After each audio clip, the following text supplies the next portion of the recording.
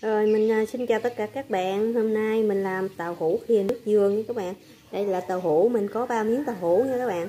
Rồi à, à hạt niêm chai Nước mắm chai Đường Muối Và một trái dừa. Trái dừa này một lát mình chặt mình lấy nước nha các bạn. Rồi bây giờ mình chuẩn bị mình đi à, à, sắc tàu hũ ra. Mình à, chiên cái phần à, tàu hũ nha các bạn.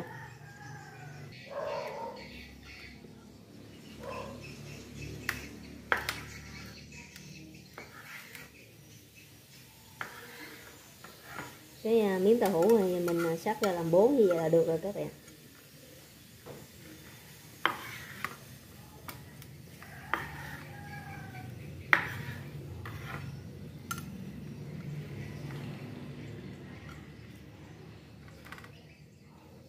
Mình à, ra như vậy rồi mình à, chiên lại nha các bạn.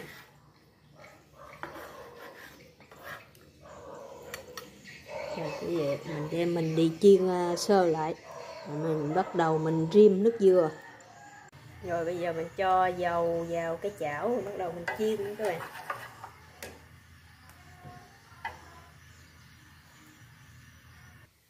Rồi, dầu nó đã nóng mình cho tàu hũ vào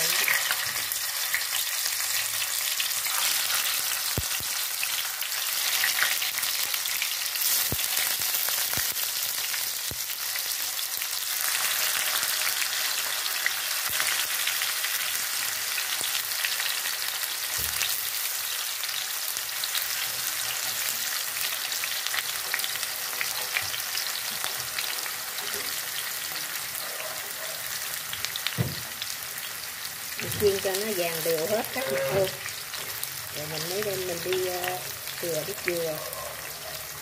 Chiên vàng các mặt để cho nó giòn nha các bạn. Rồi trong thời gian mình ờ, uh, chiên tàu ờ, hũ thì mình đi uh, pha cái phần nước dừa nha các bạn. Dừa mình cũng đã rồi dừa mình đã chặt ra rồi nè các bạn. Rồi bây giờ mình cho đường vô. Cho hai muỗng canh đường. Tí xíu muối và nước mắm. Nước mắm này nước mắm chay nha các bạn. Mình cho ba muỗng.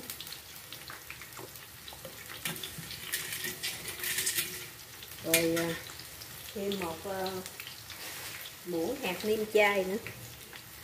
Muỗng nhỏ thôi các bạn muỗng cà phê thôi rồi đó, mình nêm nếm lại.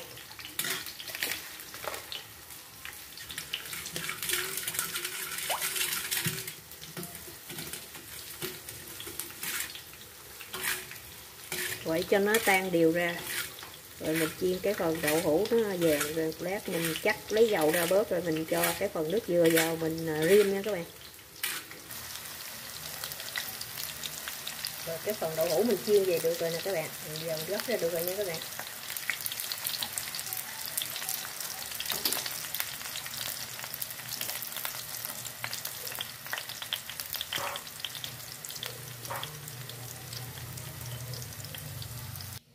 rồi mình à, lấy cái à, phần dầu ra bớt đi nha các bạn. Rồi mình cho cái ờ, phần tỏi vào. Cho cái phần tỏi bằm vào. Mình ờ, xào cho nó thơm lên rồi mình cho đậu hũ vào.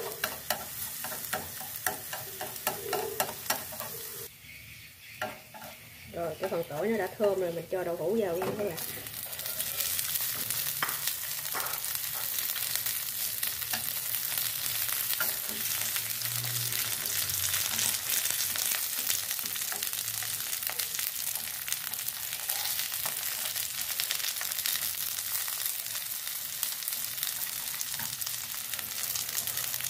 Chiên sơ với tỏi cho nó thơm.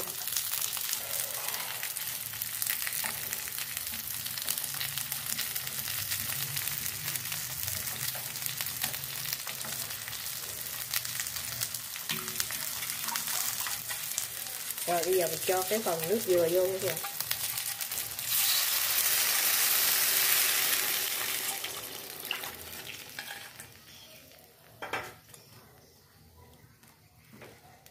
rồi, mình để như vậy mình rim tới chừng nào nó cạn nước lại là được đó các bạn.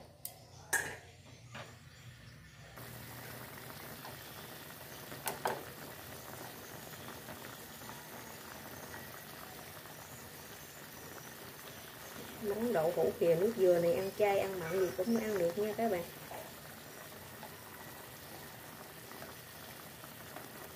Cái ờ, lớp trên nó không có ngập nước nên mình trở qua cho nó thấm. Gia vị vào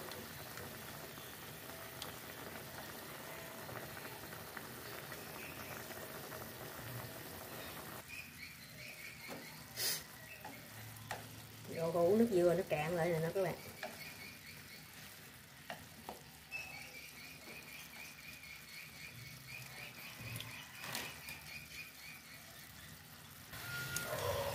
Rồi cái phần đậu hũ của mình, nước dừa nó cạn lại như vậy là được rồi các bạn.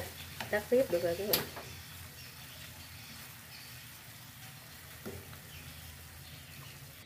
Rồi, đậu hũ.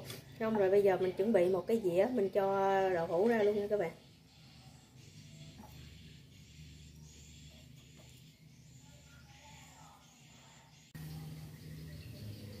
Rồi, cái phần đậu hũ khìa nước dừa của mình là cũng đã xong rồi nha các bạn. Mình à, cũng à, cảm ơn các bạn đã xem video của mình.